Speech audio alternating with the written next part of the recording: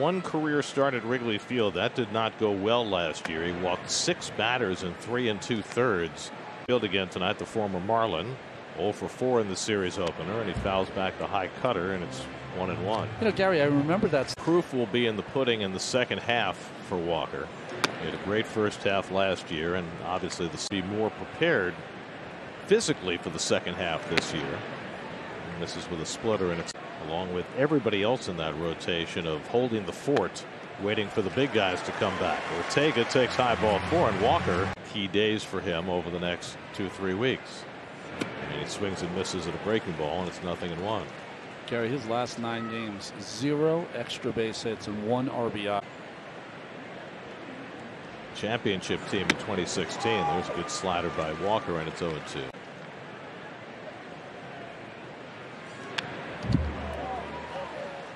Slider fouled off. Interesting that Walker has come out through on splitters and sliders. His last two starts up and in, and it's one and two to Contreras. I would like catch and tag all in one motion. Start and stop by Ortega and the pitch outside to Contreras two and two. Not a very big lead. And Contreras goes down swinging on the splitter. But lately his strikeout numbers have been way up. For the year he's just a shade over seven strikeouts per nine innings. Percentage 373 that's eighth in the league. And he lays off the high fastball when it's one and one. They still have the rule that each team has to be rep. I have only one nitpick okay. with it. That's on the ground into the shift. Guillorme with the backhand flip. Lindor doesn't bother me. Maybe for uh, Taijuan to have a little chip on his shoulder. They say a Suzuki and he takes a fastball in the corner for a strike. But the, the he's pitched for the last month or so.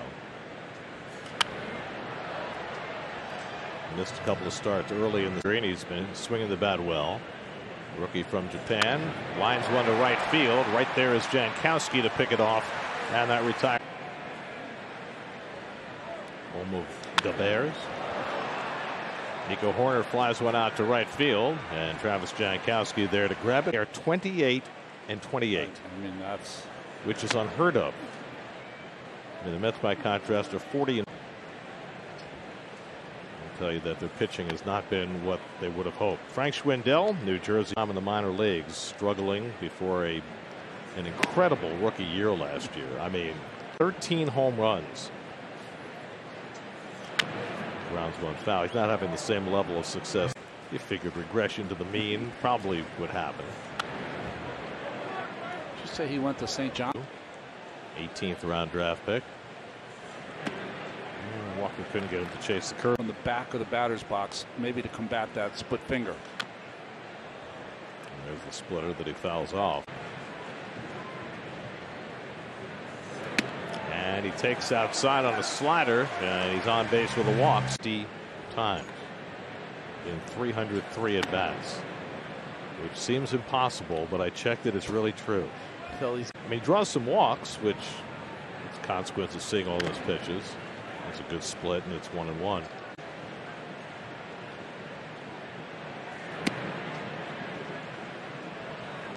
Yeah, Alcantara, and he had a great duel in Miami. That's strike on the corner, two and two, and 13 straight starts, seven innings or more.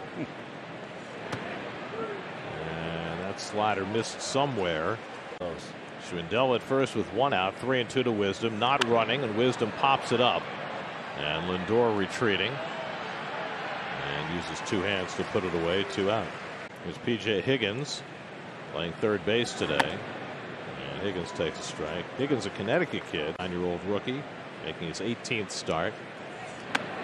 And he takes a strike on the corner, and it's 0 2. Well, they're, I mean, to me, it's all about as Walker strikes out Higgins. Who's going to be here when the batter leads off for the Cubs against Taijuan Walker? Takes curveball outside. 265, nine home runs. Playing all over the place. Breaks his bat, flies it to shallow center. Guillorme out. He's not going to get there. And it lands for the first hit in this game. It's 11 tries. He's going first pitch, and Ortega flies it foul down the left side. That'll go out of play. Let's check it. What a what a rabbit hole you could go down if you're a pitcher. That can uh, really work to your advantage as well. Runner goes and Ortega fouls it back. So Morel for the second. One two to Ortega and he fouls it away. One two coming. Ortega takes it high. Morel's gone twice, not this time, and a double play ball to Guillorme's right. The flip to Lindor, the spin around for the throw. So, Takes fastball out of the strike zone. so Gary won't. Inclined to run.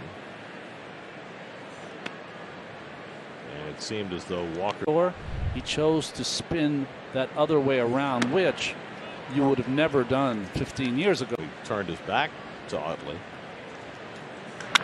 Fly ball deep center field. Back goes Nimmo. Wynn knocks it down. And Nimmo's there to make the play. Four and five in the Cubs batting order. Ian Happ, Seiya Suzuki, and Nico Hoerner up. And a first pitch curveball in for a strike, nothing in one. One hit through the first three innings. A broken bat single by Christopher Morel. And Happ fouls off the splitter. And so last year hit just 226. And Josh Harrison went to the University of Cincinnati. Uh, Kevin Youkilis, he did, but he was a basketball player. Which uh, great sandlot baseball. Uh, Juan and Mazeika trying to get together. And that's up and in. Another call that Walker, a couple of his calls. And Walker strikes out Happ with a high fastball. Gibson's tomorrow tonight. Highly recommended. Seiya Suzuki lined out to right his first time up. Suzuki, 27 years old, bounces one toward the hole. Lindor can't come up with it cleanly. And Suzuki's a the guys who are playing now for the Cubs and who is going to be around Nicholas Mackey Hoerner. Nico to his friend. Hoerner slashes one back into the screen.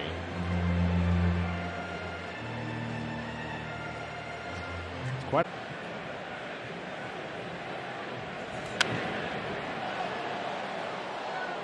Year $440 million deal. That's grounded toward the hole again. This time Lindor gets in front of it, gets the out at second, but no chance to double up in terms of average annual value. There goes Hoerner. Pitch inside. Mazeika's throw and not in time. And Hoerner steals. Schwindel grounding one toward the open space and Buehler can't keep it on the infield and the game will be tied. Entire right side of the infield. Take that personal. It'll hurt your feelings. That's driven to deep left by Wisdom. Back goes McNeil. Another one knocked down by the. He's given up a run on three hits over the first four. And a first pitch curveball in for a strike, nothing in one. And then Rafael Ortega, 8 9 and 1 in the Cubs batting order. That's driven toward the gap in left center field. That's going to roll all the way back to the Ivy. Higgins heads to second, and he's in standing with a lead. Kind of the right down the middle. That's looking for the bunt with Dom really charging, and then the back pick throw by Mazeika. And Higgins gets back. That's about as. time Sometimes you don't. Morel hits it sharply. Lindor on the backhand holds the runner and gets the out. Beautifully done by Lindor. Has walked and grounded into a double play today. And first pitch curveball misses for ball one.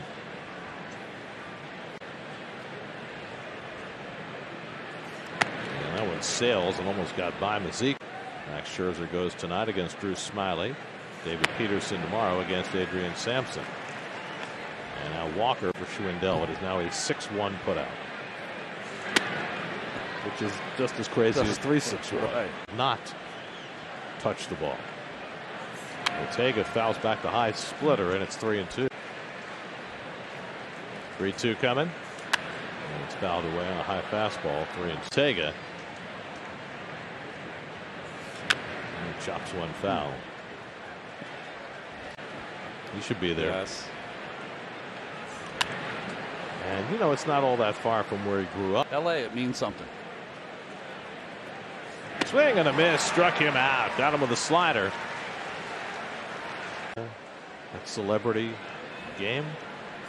I mean, I, I, wouldn't know. I'm guessing one of the Kardashians has got a percentage ninth in slugging, but they don't hit with runners in scoring position. That's why they're only 11th in runs scored. Now Walker behind on Contreras 2 0. And oh. he threw a slider past him, and it's 2 1. As it did on Thursday, as it probably will tomorrow as well. Grounded to short. Lindor waits on it. And makes the play on Contreras. Side retired. Walkable.com and save. Frank Schwindel with the only RBI. Run scoring single in the third. Sixth in a 1 1 game. Ian Happ leading off. Gets a breaking ball and flies it to shallow left. In comes McNeil. Very few fly balls in this game, one out. Um, and then I think it was my first start back after the IL.